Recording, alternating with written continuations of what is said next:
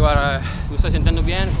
Es una semana muy buena para mí porque estoy ganando tres partidas eh, eh, seguidas y, y, nada, estoy muy contento de haber ganado hoy. Nico es un gran jugador y eh, el año pasado hicimos una, una grande batalla, entonces soy muy contento de haber ganado en dos sets.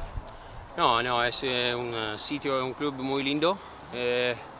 Es la mi primera vez aquí, es, es, increíble, las pistas me gustan, las condiciones me gustan, entonces eh, quiero que mañana, no sé, quiero ganar y nada.